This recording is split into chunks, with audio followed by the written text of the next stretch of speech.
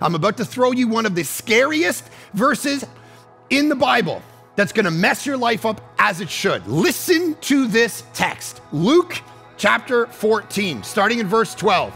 We're gonna put it up on the screen for you, which we always do, but I'm gonna ask the team to make this a little bigger. All right, some of you, you get your little spectacles, you can't really see the verse, so you carry on with your life and you don't do anything. I want this one to be big, right on the screen, so there's no excuses for anyone to see this. Cover up my face if you need to. Make it this big font if you need to. Here we go Luke chapter 12, or, or chapter 14, verse 12.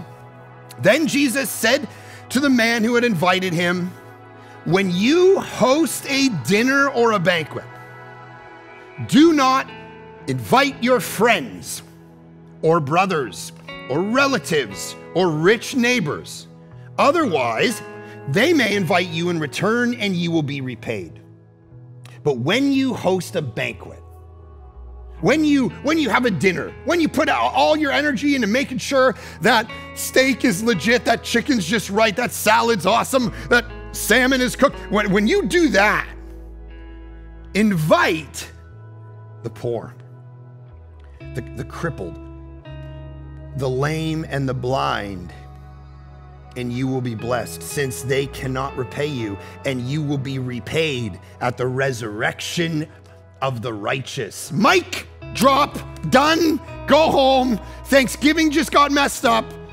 Christmas dinner just got messed up. You're inviting the wrong people. Who are we spending our life on? Who are we spending our time and our energy on? Jesus just said, if all you do is have meals for friends, you're spending it on the wrong people because there's people out there who need you in their life and you're not even inviting them in because they're not the people who make us comfortable. So this week, lead, pray, step out, ask someone, if they want to actually know Jesus. Imagine you did that. Everyone who watched this, imagine you asked, you prayed and thought, and you asked one person this week, hey, what do you think about? Because here's here's what she's doing. See what she she said something. You want to know why this is important? Underline the word uh, said. Circle the word said. What, what does that have to do with anything?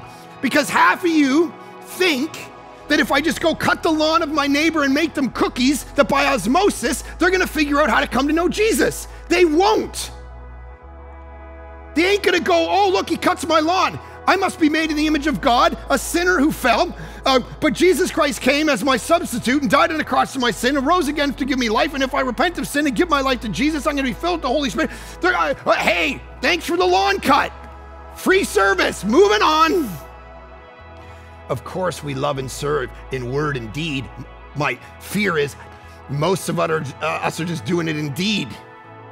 We're not saying, we're not articulating the gospel to people and saying, do you, do you actually want to give your life to Christ?